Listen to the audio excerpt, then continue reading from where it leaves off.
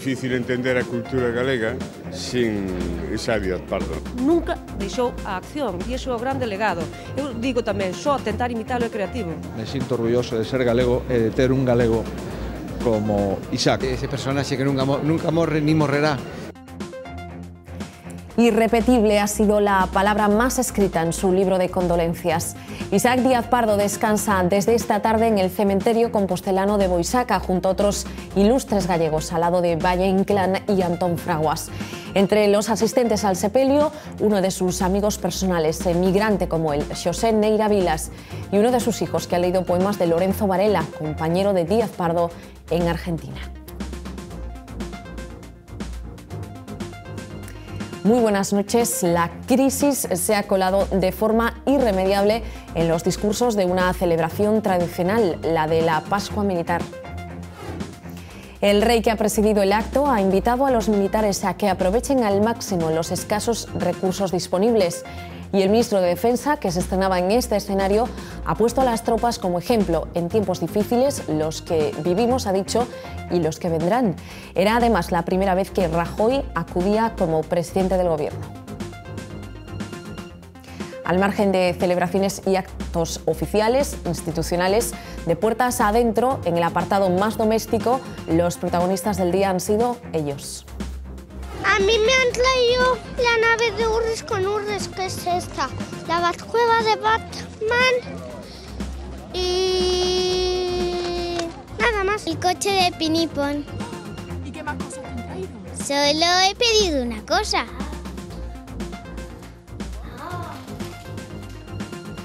Hoy tocaba madrugón. Los más pequeños no han parado mucho en la cama. Hoy ha sido día de juegos, día para la familia, pero sobre todo para disfrutar de las caras de sorpresa de los reyes de la casa. Y después de los regalos llegan las rebajas. Quedan 12 horas para la apertura de puertas. Para que todo esté listo, las grandes superficies comerciales, también las pequeñas tiendas, han tenido que hacer esta pasada noche borrón y cuenta nueva. V Televisión se ha colado en un gigante de las compras para ver este proceso de transformación. 5.000 gallegos sufren cada año un infarto.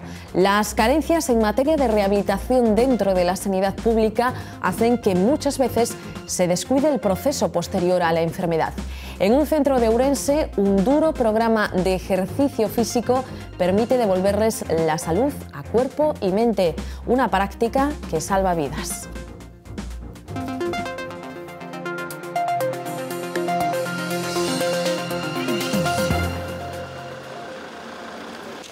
Era el último viaje de Isaac Díaz Pardo. A las 5 de la tarde llegaba al cementerio compostelano de Boisaca, donde ha sido enterrado. Una ceremonia civil en la que se ha podido escuchar la poesía de Lorenzo Varela y donde dos de sus grandes amigos hicieron un recorrido por la vida y la obra de este intelectual que forma ya parte del patrimonio gallego. Isaac Díaz Pardo fallecía ayer a los 91 años después de pasar dos semanas ingresado en un hospital por culpa de una neumonía. Ahora mm, descansa en un espacio reservado para gallegos ilustres, al lado de Valle Inclán y Antón Fraguas. Antes del sepelio, la familia de Díaz Pardo quiso que los gallegos tuvieran la oportunidad de despedirse de él. Fue un acto abierto al público en el Museo do Povo Galego, del que era patrono.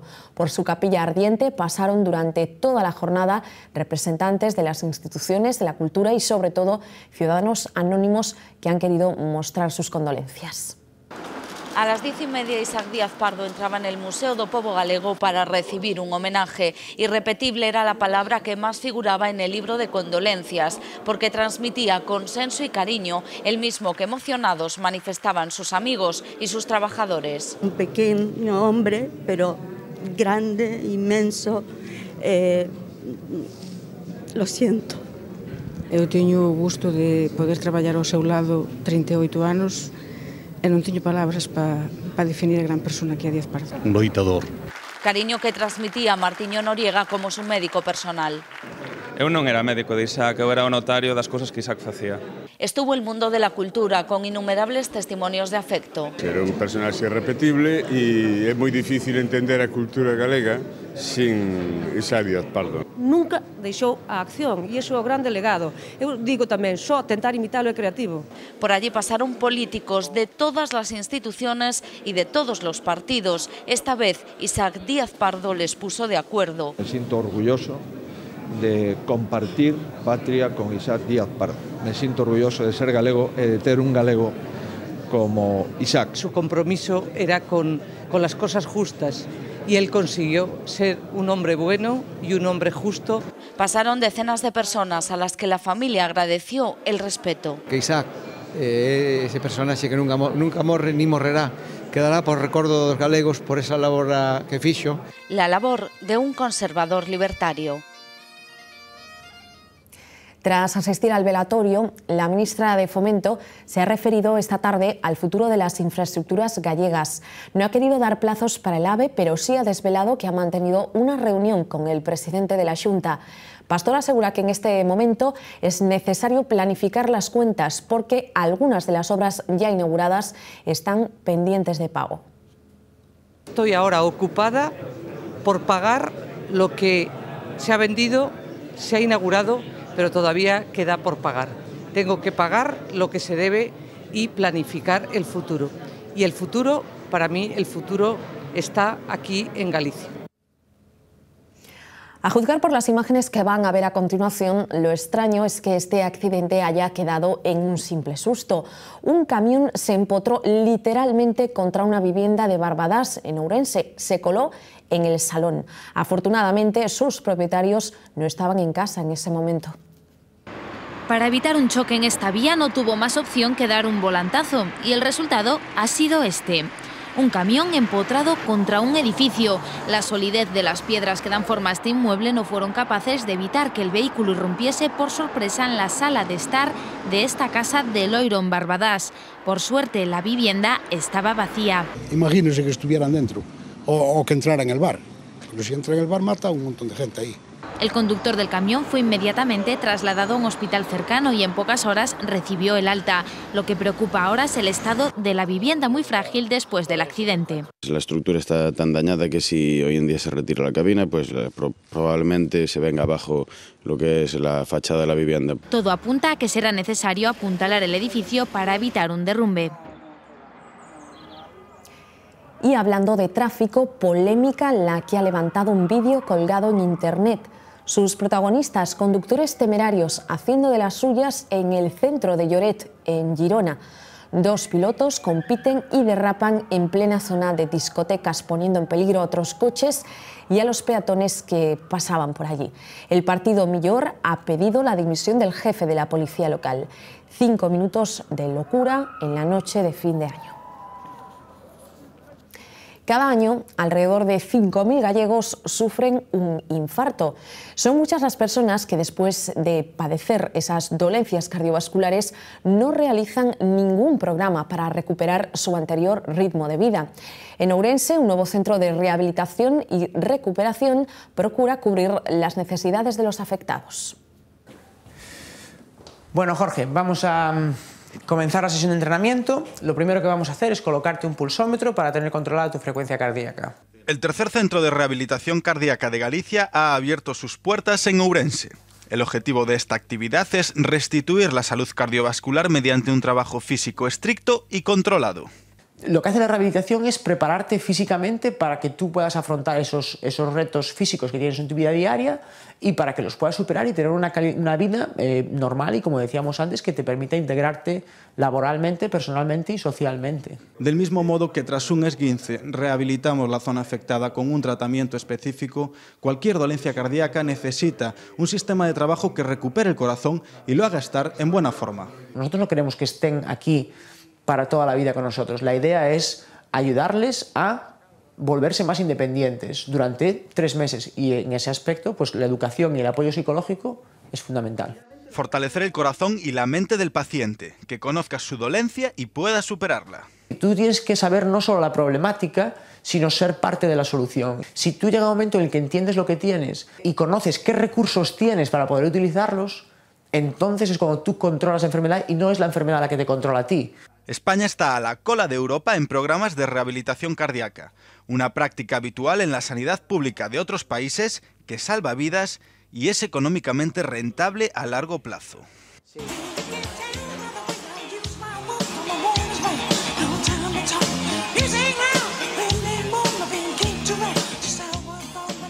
Estamos escuchando el famoso Stay Alive. En el Reino Unido han lanzado una campaña para explicar cómo los Bee pueden ayudar a nuestro corazón.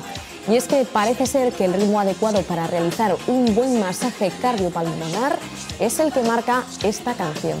Según un estudio, un 40% de los ciudadanos británicos tienen miedo a ayudar en un caso de infarto porque no está seguro de poder hacerlo bien. Bueno, pues escuchando, en este caso cantando a los Bee parece que podemos incluso salvar vidas.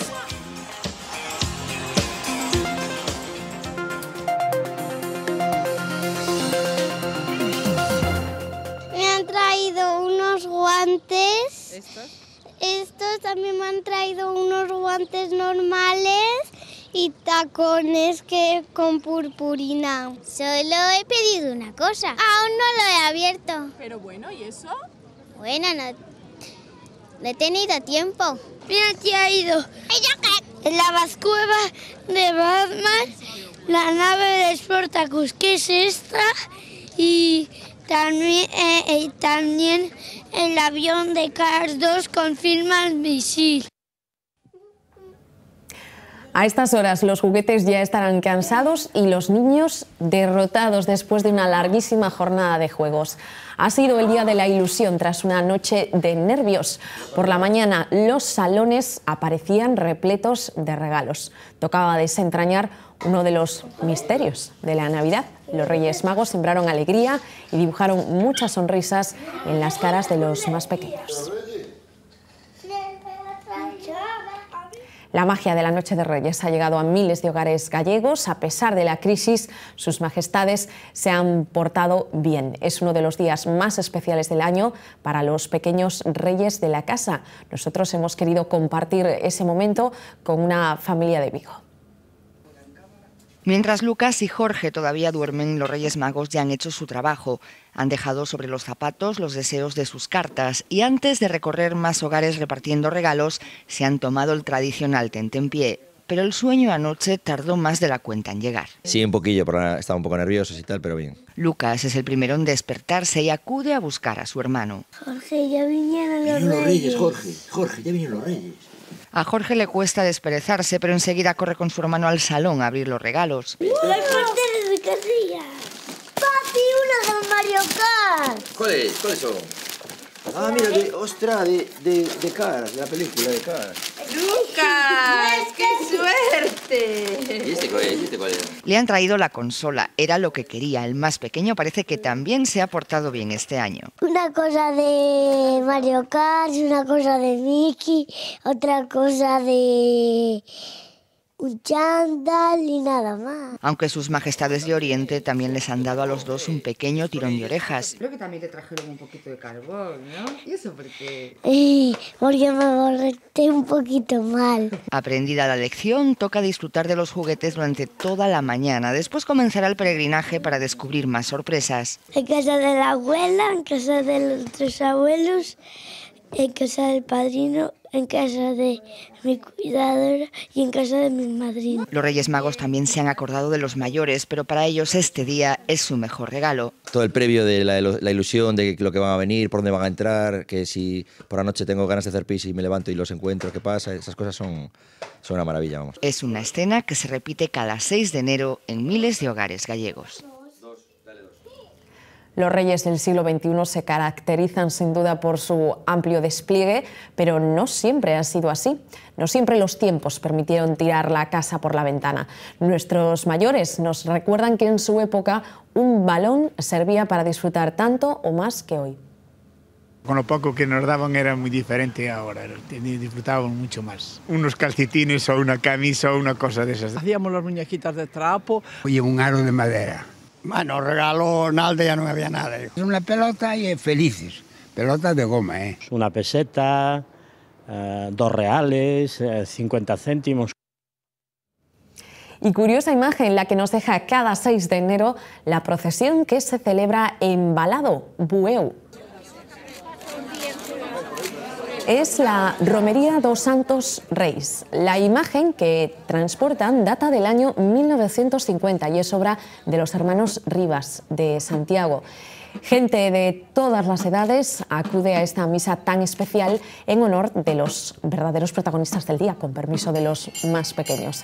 Al margen de la Catedral de Colonia, en Alemania, Galicia cuenta con el único santuario de Europa erigido en devoción a los Reyes Magos de Oriente. Hoy ha sido día de madrugón para muchos y no solo por la apertura de regalos. Hoy tocaba hacerse cuanto antes con el roscón más fresco.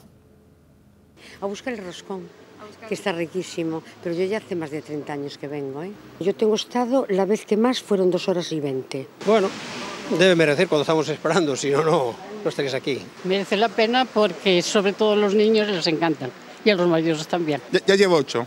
¿Ocho años? No, no, ocho roscones. ¿Ocho roscones? En, tr- en tres días.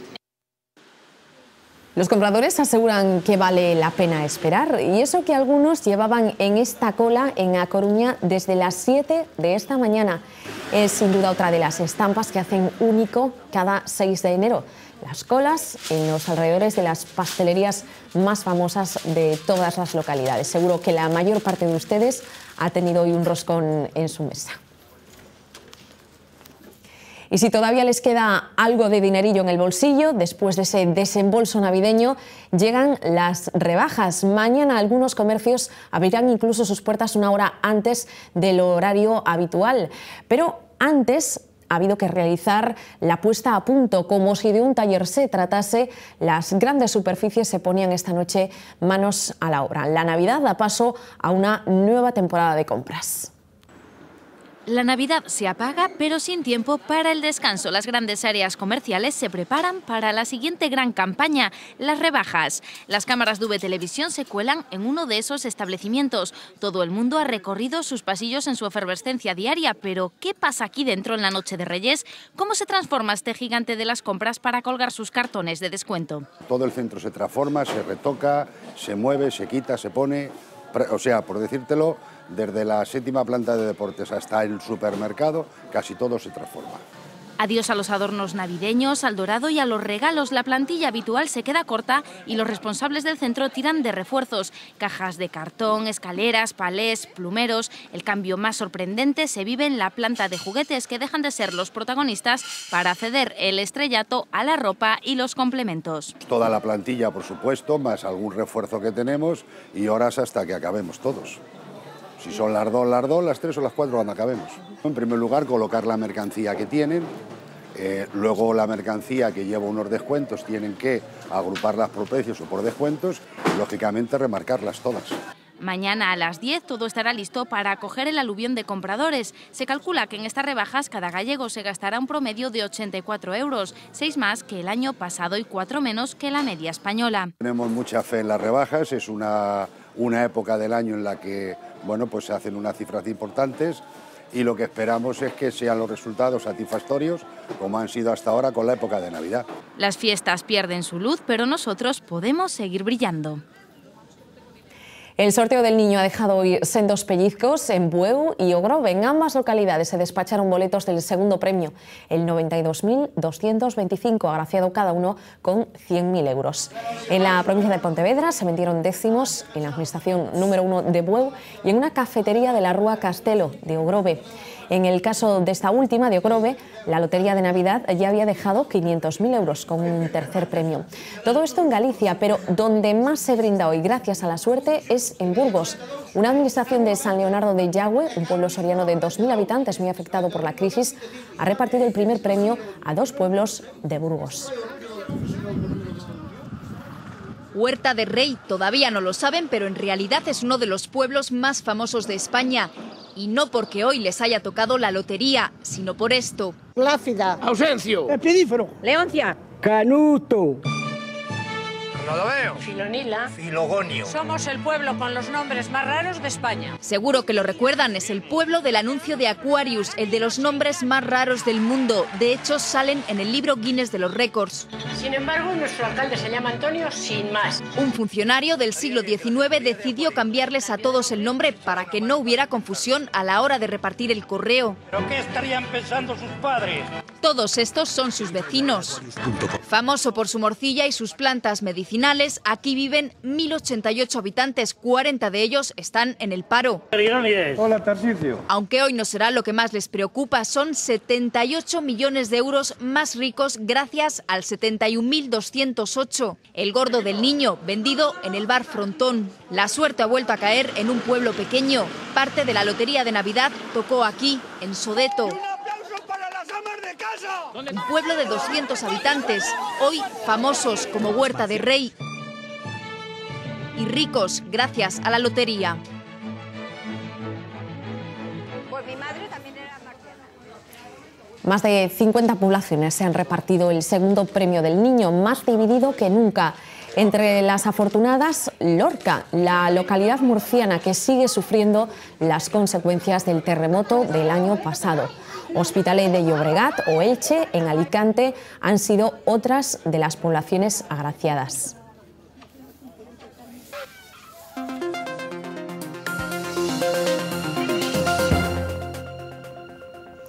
El rey ha presidido hoy la tradicional celebración de la Pascua Militar, la primera para Mariano Rajoy como presidente y la primera también para el nuevo ministro de Defensa, Pedro Morenés, que ha saludado a las tropas en el exterior. No faltó la crisis en los discursos. Don Juan Carlos invitó a los militares a que saquen el máximo rendimiento de unos recursos escasos nueva jefatura y nuevo ministro que se ha estrenado en videoconferencia con los contingentes españoles en el exterior. Que la moral de nuestros hombres y mujeres aquí desplegados es alta. La seguridad de España empieza donde están ustedes y por eso les ruego que sean fieles a su misión y manifiesten el entusiasmo que me han manifestado a mí. Novedades con el Estado Mayor que ha trasladado directamente al rey, al igual que sus planes para esta legislatura complicada en lo económico. Las Fuerzas Armadas son una prioridad de este Gobierno y que, al igual que sus miembros velan por nuestra defensa y seguridad, nunca se escatimarán medios para garantizar la seguridad de los miembros de las Fuerzas Armadas. Pero recortes y reajustes hay y habrá. En estructura, inversión y financiación, la deuda a futuro de defensa asciende a los 27.000 millones de euros. Ante la actual crisis económica, tengo la certeza de que, como habéis hecho en el pasado de manera ejemplar, sabréis obtener el máximo rendimiento de los recursos asignados y de ser sumamente cuidadosos en el empleo y mantenimiento de los medios. Llamamiento a ese espíritu del que hacen gala de entrega de servicio y ahora más que nunca de sacrificio. El desempleo en España tenía un lugar destacado hoy en la celebración de la Pascua Militar y no es para menos. Hemos conocido que un 10,3% de los ciudadanos de la zona euro está en el paro. El dato sube casi al 23% si hablamos de nuestro país. Son los datos que se extraen del informe publicado hoy por la Agencia Europea de Estadística, el Eurostat. Nuestro país sigue siendo el que tiene una mayor tasa de paro de toda la Unión. Nos siguen, pero lejos, Grecia, Lituania, Austria Lituania. Austria, Luxemburgo y Holanda tienen, sin embargo, la tasa de desempleo más baja. Un tribunal portugués ha condenado a 12 años de cárcel al etarra Andoni Fengotita Bengoa. Creó la base Lusa de Obidos desde la que la banda pretendía lanzar atentados contra España, como la voladura de las Torres Kio de Madrid. De 32 años fue detenido en marzo de 2010 en el aeropuerto de Lisboa, cuando intentaba huir a Venezuela. El juez considera aprobados, entre otros delitos, el de pertenencia a un grupo terrorista, tenencia de explosivos, falsificación de documentos y alteración de matrículas. Dos de los cuatro detenidos por el asesinato de un senegalés en la localidad barcelonesa de Besós han ingresado hoy en prisión provisional por orden del juez. El crimen tuvo lugar como consecuencia de una disputa entre uno de los encarcelados y varios senegaleses que estaban jugando al fútbol en la calle. El hombre subió a su casa, cogió una pistola y bajó armado acompañado de tres de sus hijos. Uno de ellos efectuó el disparo que impactó en el tórax de la víctima. Y hoy también un atentado suicida ha provocado una masacre en Siria. El Ministerio del Interior ha confirmado la muerte de al menos 26 personas, una cifra que podría ir en aumento ya que hay decenas de heridos. Un terrorista ha hecho explosionar su carga en la plaza de Almidán, situada en pleno centro de Damasco. Las autoridades del país han confirmado que su objetivo era un autobús que transportaba a miembros de las fuerzas de seguridad sirias. Un país vecino, Turquía, se despertaba con la detención del ex jefe del Estado Mayor, Ilker Basbuk. Sucedía en Estambul esta pasada madrugada. Le acusan de formar y dirigir una organización terrorista con el objetivo de derrocar al gobierno. Basbuk era interrogado el jueves durante casi ocho horas. Se trata del primer militar de este rango detenido en la historia de Turquía. Después de casi dos meses de silencio, Fidel Castro ha reaparecido. El expresidente cubano ha retomado sus artículos de reflexiones con un texto que alerta sobre las amenazas de guerra nuclear y cambio climático para la humanidad. Con el título de La marcha hacia el abismo, el nuevo trabajo de Castro sale a la luz tras algunos rumores propagados esta semana en las redes sociales sobre la salud del líder cubano.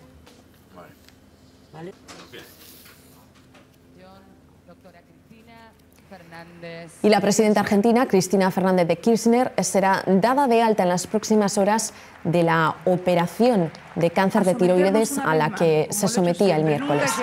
Cristina Fernández ha evolucionado sin complicaciones y no tendrá que recurrir a la quimioterapia.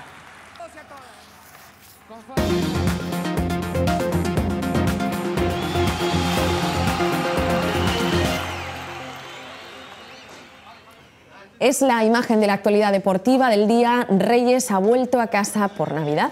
Tras unas duras negociaciones con el Atlético de Madrid, el jugador se ha convertido en nuevo integrante del Sevilla. Durante su presentación ha asegurado sentirse muy contento con su llegada a la capital andaluza, a pesar de haber perdido dinero con el traspaso. Reyes vuelve ocho años después al Sánchez Pizjuán, el escenario donde creció como futbolista. Tendrá contrato hasta el 2015 ha dicho que espera ganar muchos títulos en esta nueva etapa. Esa era la imagen más destacada. Vamos ahora con la declaración del día. Su protagonista no es otro que José Mourinho. El técnico merengue nos ha sorprendido al felicitar a Guardiola tras ser elegido este mejor entrenador del mundo. Quizá haya sido su regalo de Reyes. Merecido. Merecido. Lo que espero que, es que Pep no tenga que esperar tanto para recibir el subo, porque yo he ganado en 2010 y todavía no me han dado. Pero merecido. Los que no han podido disfrutar de esta jornada de Reyes han sido sus hombres, los jugadores madridistas. Eso sí, durante la sesión de entrenamiento de esta mañana han estado acompañados por más de 8.000 aficionados que han llenado el recinto de Valdebebas. El líder de la liga ha trabajado para preparar el encuentro de este sábado en el Bernabéu contra el Granada. Los de Mou no pueden fallar para mantener esa diferencia de tres puntos con el Barça. El encuentro adelantado en esta jornada de Reyes lo está jugando el Celta de Vigo en estos momentos ante el Alcoyano. Cuando más o menos se cumple media hora del primer tiempo, ganan los celestes 0 a 1 con un gol de Mario Bermejo.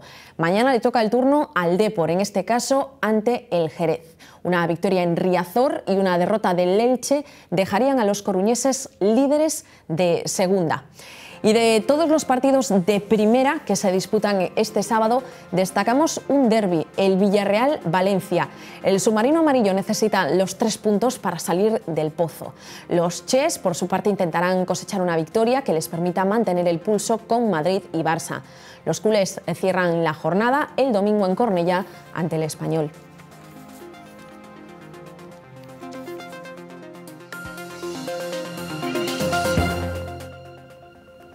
Una investigación científica ha revelado que los niños y los perros tienen más cosas en común de lo que podría parecer.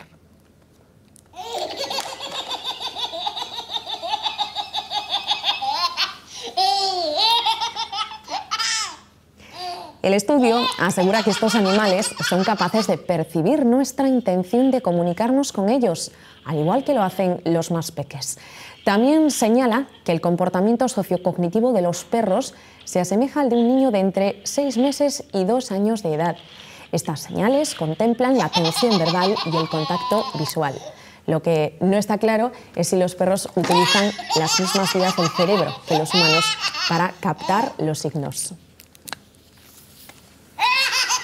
Una sonrisa contagiosa. Si hay dos protagonistas en el Día de Reyes, esos son los niños y los juguetes. Los primeros se pasan todo el año esperando lo segundo.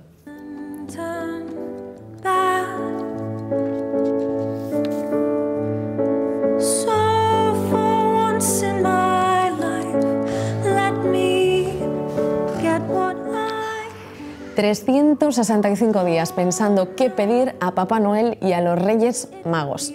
Hoy les hablamos de una historia que ha conmovido al Reino Unido. Se trata de una campaña navideña en la que el protagonista es un niño que espera con impaciencia la llegada de la Navidad. La diferencia con el resto es que este pequeño quiere que llegue, pero por otro motivo. No desea recibir ningún regalo, solo dárselo a sus padres.